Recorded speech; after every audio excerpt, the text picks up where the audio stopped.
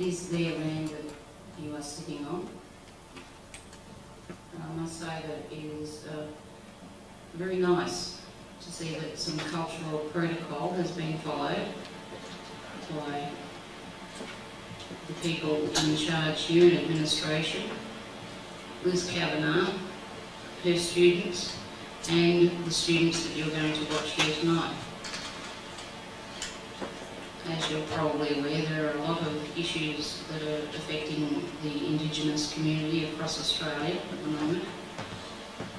And it is nice to have that recognised and to um, give the Indigenous people the opportunity to welcome others to their land. He um, seem to have a select invitation audience here tonight. I hope you enjoy the performance. I'm sure they'll perform very well because they have in fact asked the people of the land to give them their blessing to perform on it. And I think that will give them encouragement and hope and will also help them perform better. It's good to see you all here tonight, and I'll hand the proceedings over to the officials and uh, to say welcome to the land of the Wurundjeri people. Thank you.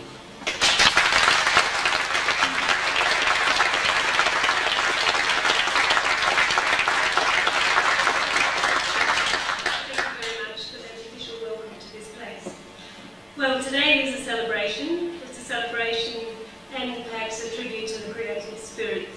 And tonight we, it is tonight now, it's sort of debating when I do tonight for this evening, we recognise and acknowledge the work of firstly the students who've gone through this course over a decade of training, the students who are, some of them here tonight, graduates who have come from work, work in the industry, work in places such as notice the Scenic Arts Industry represented, the Arts Centre, people who've worked in their own small companies, a whole range of people have come back tonight to pay some sort of tribute to the work that's gone on through this department.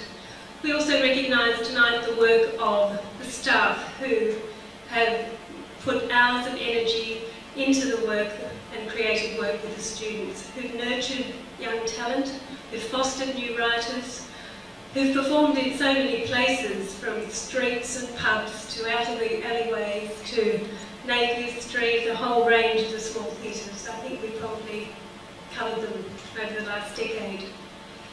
And of course, it's also a tribute to the work of David Williamson. And I guess in asking David to this place, this small theatre, in some ways it acknowledges that multi-skilled theatre workers can emerge and can be fostered and become great artists in small venues.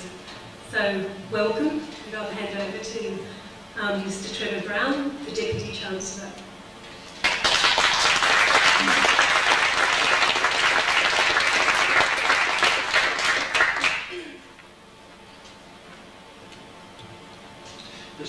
Mr Williamson, Vice Chancellor, distinguished guests and members of the Swinburne community, it is my pleasure to welcome you to the opening of the David Williamson Theatre.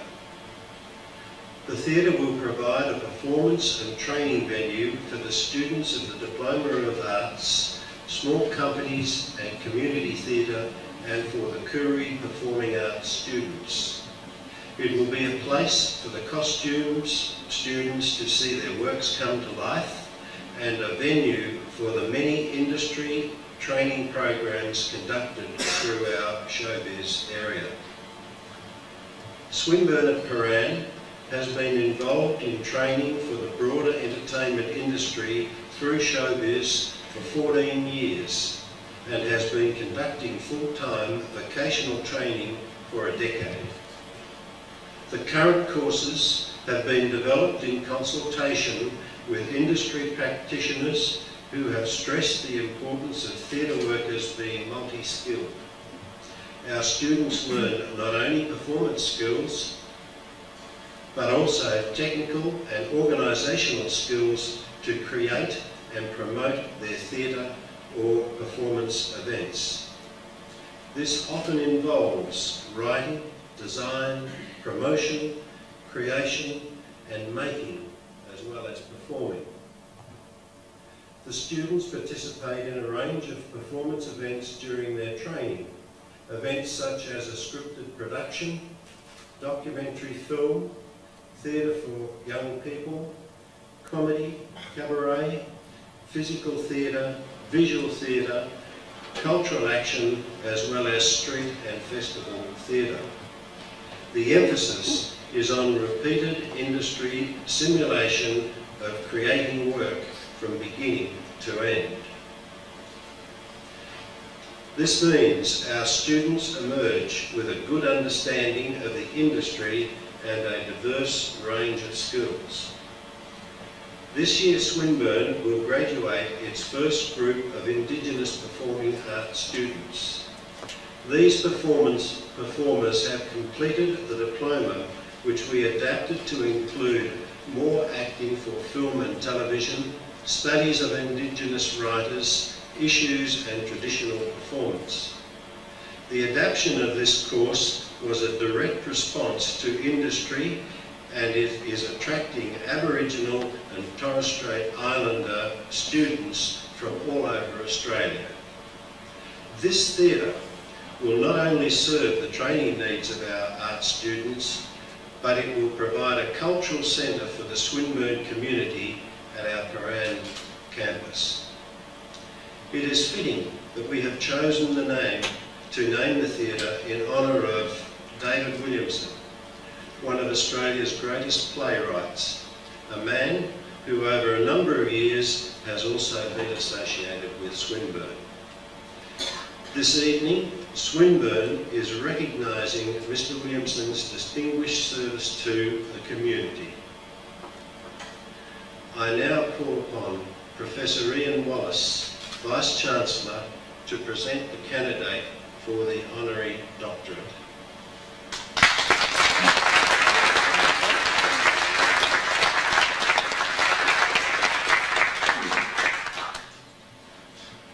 Mr Deputy Chancellor, I call upon Mr David Keith Williamson to present himself for admission to the degree of Doctor of the University honoris causa on the grounds of distinguished service to the community.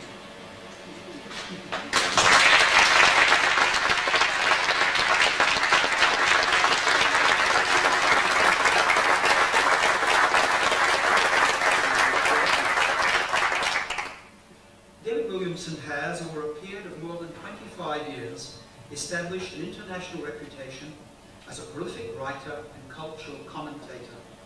He has, in the broadest sense, through his work in writing for the stage and film and television, made an outstanding contribution to the community both here in Australia and overseas. Following his early education in Bairnsdale, Victoria, and his secondary education at University High School, David Williamson completed a degree in mechanical engineering at Monash University. He then worked as a design engineer, undertook some postgraduate studies in psychology, and joined the then Swinburne Institute of Technology, where he lectured in thermodynamics and social psychology for several years. These formative years provided the background and the stimulus which led to his career as a playwright. In the early 70s, he became the most sought-after playwright in Australia. Some of his best known and most successful plays are The Removalists, Club, Don's Party, The Department, A Handful of Friends, and Travelling North. His more recent plays include Dead White Males, Sanctuary, and Heretic, his most recent play, which has just finished a successful season here in Melbourne. His plays have been translated into many languages and performed internationally, including major productions in London, Los Angeles, New York, and Washington. David Williamson's plays are well known for the amount of research which has gone into their preparation. For example, in writing Heretic, he spent considerable time reading and researching in the area of anthropology. He also places significant value on his engineering background and the role it has played in stressing the importance of the need to find empirical evidence to support a particular position. Another spin-off of value attributed to his engineering experiences is the benefit gained from scientific methods in sharpening one's thinking. David Williamson's work as a writer has led to his involvement in a wide range of roles within the theatre and film and television industry. He has a prolific record as a screenwriter, has produced many original screenplays, and has adapted his own stage work for film. He has also written several movies for television and plays for radio, as well as directing plays and films of his own work and that of other writers. David Williamson's work has been widely recognised within the industry generally as evidenced by the various Australian and international awards he has received, including the British George Devine Award for The Removalists in 1971. This was the first time the award had been made outside the United Kingdom. The London Evening Standard Award in 1973 for the most promising new playwright of the year. The Melbourne Critics Eric Award in 1972 the Australian Writers Guild AWGIE Award on 11 occasions, and the Australian Film Institute Award for Best Screenplay four times. David Williamson's career also features specific contributions by way of service to the community and his profession. Some examples are his appointment as a Commissioner of the Australian Broadcasting Commission in 1978-79, and as President of the Australian Writers Guild and Chairman of the Australian National Playwrights Conference in 1979-80. His service to the community was recognised in 1983 when he was appointed an Officer of the Order of Australia for his service to the arts as playwright and screenwriter. His contribution to the arts been formally recognised through the awarding of an honorary degree of Doctor of Letters from both Monash and Sydney universities. All in all, David Williamson's achievements as a writer and his contribution to the arts generally have been outstanding. It is fitting that this contribution and service to the community should be recognised by Swinburne, as this is an institution with which he has had a significant association over a considerable period of time.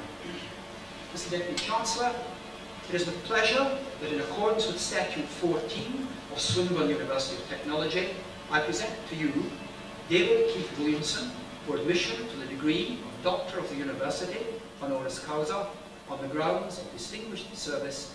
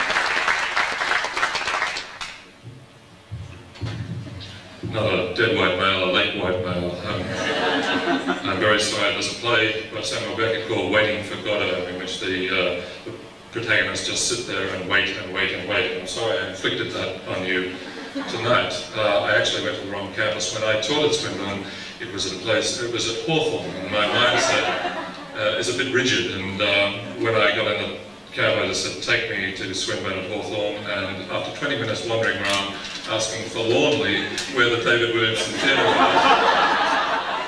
being told they'd never heard of it, uh, or me, uh, I got the message that we'd at the wrong place, but I'm, I'm, uh, I, I got here finally, and I'm enormously honoured.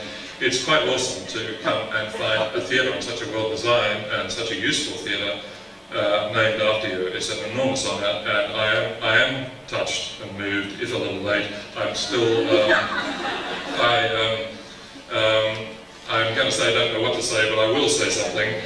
Um, it, it, uh, it's been a long time, as you know, since I was teaching at Swinburne, um, and I was teaching engineering in the engineering school there. Um, some people were cruel enough to say that I only took the job there so I could do research for my subsequent play called The Department, but that is, that's not true. Um, I took the job for the best of reasons because I loved teaching, which is a theatrical, um, um, well, it's a theatrical performance in one sense. Uh, I loved the staff I worked with and I really enjoyed the students. And I had a wide variety of students. Uh, every now and again, on a plane, some um, chap in a suit will come up and put a business card in my hand and say, uh, Mr. Williamson, you taught me thermodynamics. And, uh, so it still happens. And, and I remember a particular um, young man who went on to become a, a, rock star. He said, I haven't been to your thermo class uh, for six weeks. I'm sorry, Mr. Williamson. I've had women problems. And I said, oh, really? And I started saying, yes, the difficulties of relationships. He said, no, no, no. I've had an intensive course of penicillin. So I had a very a varied uh, uh, student uh, mob there, um, but they were happy years. Um, and but some people have said to me, well, how come you uh, started as an engineer and become a playwright? There seems to be nothing in common between the two activities. Well, the truth was I never really wanted to become an engineer. I always really wanted to become a writer. Uh, in those days, you were advised to do something um, to get a qualification to fall back on, was the phrase, and I fell back on that. But I, um, I do admit to a certain amount of pilfering while I was here. In the National Library are the first drafts of, of my plays, and they're all written on Swinburne examination booklets. um, the, uh, there is a gulf. Uh, science is one of the great achievements of the human mind, and science is a fairly recent uh, achievement. It's um, a way of assuming that there is a real world out there, we can test this real world, we can find out what it's all about, we can create hypotheses, we can test those hypotheses by uh, empirical measurement, and we can get closer and closer to models of truth about the physical world and about the laws of the physical world. Um, the arts, on the other hand, are really about the human species in a, a non-rational mood, if you like. Um, it's the human brain exploring its own creativity. And in the sciences, we have a convergent model of thinking. We have a problem. We have to solve that problem. We have to find the answer to that problem. We do it by rational, deductive, empirical methods, and we come to the one single conclusion, the one correct answer to that problem. We, we design a strut, it's got to take a certain load, there's only one certain load that it's got to take, and we find that answer. The arts are a different uh, kettle of fish. The arts, um, in a sense, pose another sort of problem. They give you an empty stage and say, fill that stage for two hours in a way that's going to engage, delight, enlighten, and uh, enrapture us. There are a million, a trillion different ways, there are a trillion different solutions to this problem. Try and find one that is going to be meaningful to us. Because it is uh, amazing to be a human being when you think of it, what are we? And that's what the, what the arts partly explore.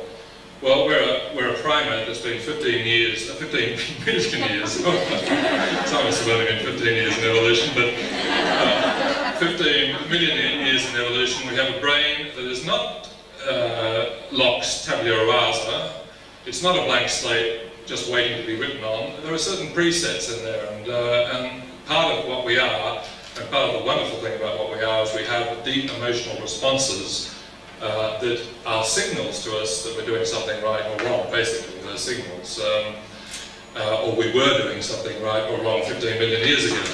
Um, and that wonderful mechanism we've got up there interacts with our culture. Our culture imposes lots of rules and ideologies on us, uh, and uh, we're all different, and what comes out is that great flux of humanity, of individuals uh, that the arts starts exploring, starts saying, what's inside there? Why do our emotions respond to certain things? Um, why do we feel joy? Why do we feel depression? We don't really know in a way, but the arts brings us closer to an understanding of ourselves. Uh, um, and the arts also gives us a chance to wonder about the, the sheer, well, glory, for a better word, of being human and having these capacities. In our everyday life, more often than not, we charge on with blinkers on, earning a living, doing things on automatic pilot and never really thinking about what it is we're doing. We just have to succeed or do this or do that. We have to earn a crust. The arts gives us that wonderful chance to step back and contemplate the human condition, for want of a better word, contemplate what it is that we are, and take ourselves out of that everyday world and say, yes, I, have behaved like that. Why? Um, I've done that. Or hear a beautiful cadenza of music and say, that, that touches me, I don't quite know why, but it makes me feel a delight in being human. So the arts transports us above the pure material plane. It takes us to that overworked word, the spiritual plane, whatever that is, but I think it's something to do with that sense of awe that we have this amazing emotional and intellectual mechanism there in our heads that responds to the complexity and uh, brilliance of the world around us. So I'm terribly glad to um, find that the suspicion that's traditional towards the creative arts on university campuses is at last melting away. For a long while, it was only convergent thinkers that were welcome on campuses, only those who could find specific answers and the correct answers to correct problems. Now the campuses are opening up and realizing that the creative endeavor is every bit as important to humanity and the experience of being human as the convergent thinking, uh, because the arts works off bouncing idea of idea, association, divergence, um, uh, multiplicity. And um, I'm particularly uh, pleased here at Swinburne that a theatre has been named after me because after all these years I've decided that what I love doing best is writing for the theatre. I'm a theatre writer. I love and always have that feeling that it's one of the last great community activities. That actors come in, live human beings, not two-dimensional images on the screen, live human beings come and show their skills, their creativity in front of you, a live audience. And it's a one-off event that never happens again. You see something quite unique and special that night, and you participate in a communal backwards and forwards feedback between those performers and you. Uh, and in a world in which Bill Gates tells us that the future is atomized, lonely little souls sitting in front of their computers, surfing the internet. Uh, Bill Gates is telling us the community is over, the death of community. Uh, we don't need it anymore. All we need is our PC screen, and we never need to get together again. We never need to see other nasty human beings except their little uh, dots on the computer screen. But uh, theatre is one of those areas that works against the tide a warm and communal experience, and I love it, and I'm particularly honoured, uh, well, I'm particularly glad that Swinburne is promoting this great art form, teaching it so skillfully and providing for it so well, and I'm particularly honoured that a place where all this is done has been named after me. It's an overwhelming feeling, and I thank you very much.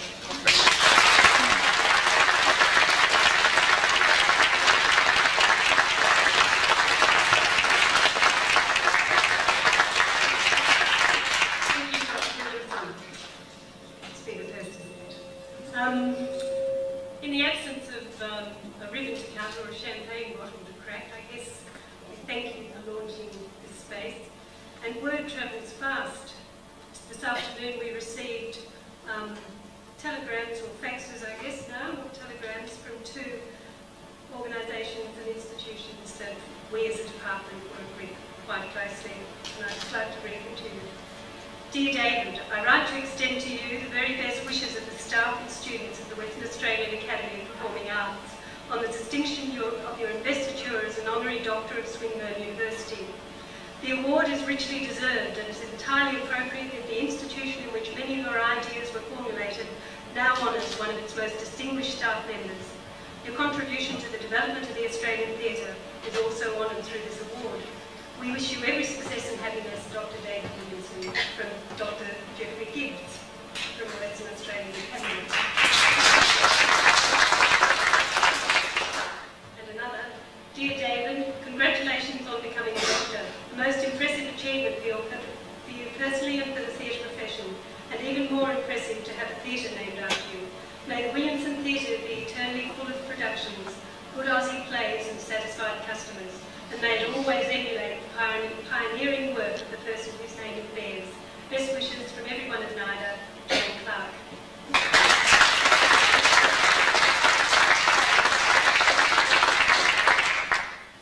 Um, I'd like to ask you to join the audience now, and um, we're going to see some work from the students.